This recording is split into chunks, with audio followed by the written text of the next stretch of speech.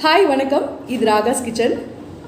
இன்றைக்கி நம்ம சேனலில் விநாயகர் சதுர்த்தி ஸ்பெஷலான ஸ்வீட் கொழுக்கட்டை எப்படி பண்ணுறதுங்கிறத பார்க்க போகிறோம் வீடியோக்கு போகிறதுக்கு முன்னாடி அனைவருக்கும் விநாயகர் சதுர்த்தி நல்வாழ்த்துக்கள். இன்றைக்கி கொழுக்கட்டை செய்கிறதுக்கு நான் ரெண்டு வெரைட்டி ஆஃப் கொழுக்கட்டை பண்ண போகிறேன் ஒன்று வந்து வேர்க்கடலை இன்னொன்று தேங்காயில் பண்ண போகிறேன் இப்போ அது பூரணம் செய்கிறதுக்கு தேவையான பொருட்கள் என்னென்னங்கிறத பார்க்க போகிறோம் தேங்காய் துருவந்து வந்து ஒரு கப் எடுத்திருக்கேன். ஒரு கப் வெல்லம் ரெண்டு டேபிள் ஸ்பூன் ஏலக்காய் வேர்க்கடலை ஒரு கப் இதை வந்து நான் வறுத்து எடுத்து வச்சுருக்கேன் க்ளீன் பண்ணி. கொழுக்கட்டை மாவு அதாவது பச்சரிசி மாவு வந்து ரெண்டு கப் யூஸ் பண்ணுறேன் இப்போ ஸ்டவ் ஆன் பண்ணிவிட்டு ஒரு கப் தண்ணி போட போகிறேன் உங்களுக்கு எவ்வளோ தண்ணி தேவைப்படுதோ உங்களுக்கு மாவு எவ்வளோ தேவைப்படுதோ அந்த அளவுக்கு நீங்கள் தண்ணி போடலாம். அதே மாதிரி இதில் நீங்கள் இப்போ நான் ஆஃப் டேபிள் ஸ்பூன் சால்ட் எடுத்துக்கிறேன். அதோட கூடவே ரெண்டு ரெண்டு ட்ராப் எண்ணெய் விட்டுக்கிறேன். இந்த மாதிரி ஒரு கரண்டி வச்சுட்டு இப்போ தான் இதில் கொஞ்சம் கொஞ்சமாக தண்ணி ஆட் பண்ண போகிறேன் தண்ணி ஆட் பண்ணிவிட்டு லைட்டாக கலக்க போகிறேன்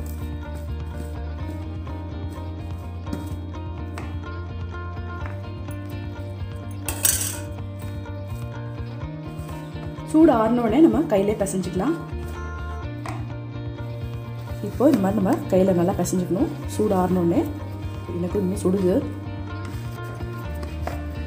இப்போது இந்த மாதிரி மாவு நான் பிசைஞ்சிட்டேன். பிசைஞ்சிட்டு நீ பாருங்கள் ஒட்டவே ஒட்டாது. இதுதான் வந்து கரெக்டான பதம்.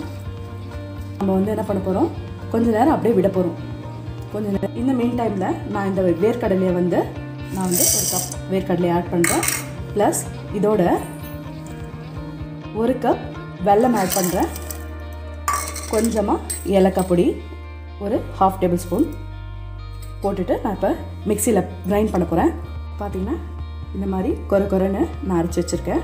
அவ்வளோதான் இதுக்கான பூரணம் வந்து பூரணம் ரெடி பண்ண போகிறேன் அதுக்கு ஃபஸ்ட்டு வந்து நான் என்ன பண்ணுறேன்னா இந்த மாதிரி ஒரு கப் வெல்லம் வந்து ஆட் பண்ணுறேன் ஆட் பண்ணிவிட்டு இதோட லைட்டாக ஒரு ஒரு கால் டம்ளர் தண்ணி மட்டும் விட்டால் போதும்.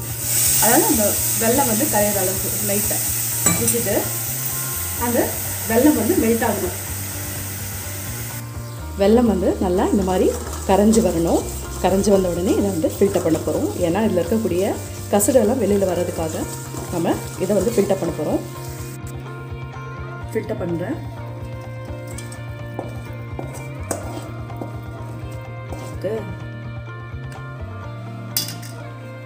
இப்போது அதே பாத்திரத்தில் நான் என்ன பண்ணுறேன் இந்த ஒரு முடி தேங்காய் நான் வந்து ஆட் பண்ணுறேன் இது போட்டுட்டு நல்லா வதக்கணும்.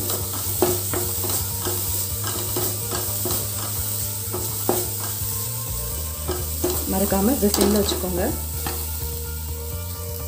இதில் நான் அந்த வெள்ளைப்பாகை ஆட் பண்ணுறேன்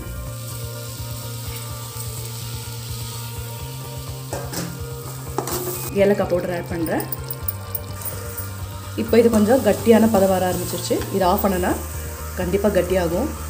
அந்த மீன் டைமில் நான் வந்து இட்லி பாத்திரத்தில் கொஞ்சம் தண்ணி வச்சுட்டு கொதிக்க வைக்கிறேன். மாதிரி இட்லி பாத்திரத்தில் நான் ஒரு கிளாஸ் போட்டு மூடி வச்சிடுறேன். இப்போ நான் என்ன பண்ணுறேன் இந்த மாதிரி ஒரு பிளாஸ்டிக் கவர் எடுத்துக்கிறேன் எடுத்துகிட்டு இந்த மாவை கொஞ்சமாக எடுத்து உருட்டிட்டு இது மாதிரி தட்டிக்கிறேன்.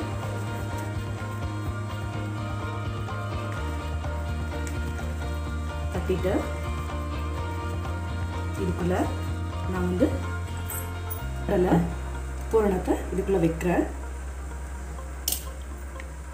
இப்போது நான் இதை வந்து இந்த மாதிரி க்ளோஸ் பண்ணுறேன் கொஞ்சமாக இந்த மாதிரி க்ளோஸ் பண்ணனா இந்த மாதிரி வரும்.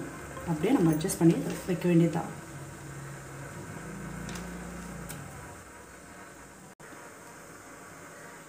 பாருங்கள் அழகாக மடித்தாச்சு வந்துருச்சு. இது வந்து நான் உங்களுக்கு சும்மா கையில் செஞ்சு காட்டுறேன். இதுக்கு அச்சு கூட இருக்குது நெக்ஸ்ட்டு நான் அச்சில் வைக்க போகிறேன் அதுக்கு முன்னாடி இதை எடுத்து இதில் வைக்கிறேன். பாத்திரத்தில் வைக்கிறேன். துணி போட்டு வச்சேன்னா கொஞ்சம் ஒட்டாமல் வரும். அதுக்காக தான் நான் துணியில் வைக்கிறேன். கிடைக்குது. இதில் வந்து சும்மா லைட்டாக ஒரு ஒரு ட்ராப் அந்த மாதிரி எண்ணெய் விட்டுட்டு இப்போது இதை எடுத்து நான் வந்து இது மாதிரி இதுக்குள்ளே போட போகிறேன்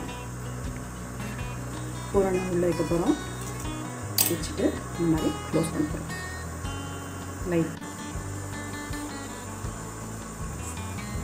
அழகாக வந்துருச்சு. நெக்ஸ்ட்டு இந்த மாதிரி தேங்காய் புருணை பண்ணுறது இது பண்ணிவிட்டு இதுக்குள்ள தேங்காய் பூரணத்தை துவைக்கிறது வச்சுட்டு சேம் ப்ராசஸ் சேம் ப்ராசஸ் தான் அப்படியே வச்சு க்ளோஸ் பண்ணணும். அவ்வளோதான் வந்துச்சு பாருங்கள் சூப்பரான. ஆனியன் ஷேப்பில் வந்து பண்ணுவோம் இல்லையா? அதுக்கு வந்து எப்படி பண்ணுறதுன்னு பார்க்குறோம். நல்லா இந்த மாதிரி வச்சுக்கணும். ஆக்சுவலாக நான் இதை பண்ணும்போது என்னோடது வந்து மாவு ரொம்ப சாஃப்டாக இருக்குது இதுக்கு ரீசன் என்னென்னு பார்த்தீங்கன்னா அந்த ஆயில் தாங்க. நீங்கள் இதை செஞ்சு முடித்த உடனே பார்த்தீங்கனாலுமே உங்களுக்கு ரொம்ப பஞ்சு மாதிரி வரும். ஆட் பண்ண போகிறோம் இந்த மாதிரி பண்ணிவிட்டு முடிச்சது அவ்வளோதான் இதை எடுத்து நம்ம ஸ்டீம் வைக்க போகிறோம்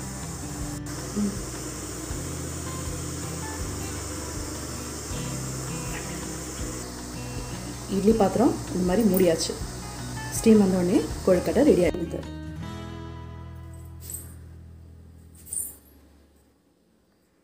இந்த வீடியோ உங்களுக்கு பிடிச்சிருந்ததுன்னா லைக் பண்ணுங்கள் ஷேர் பண்ணுங்கள் மறக்காமல் சப்ஸ்கிரைப் பண்ணுங்கள் தேங்க்ஸ் ஃபார் வாட்சிங்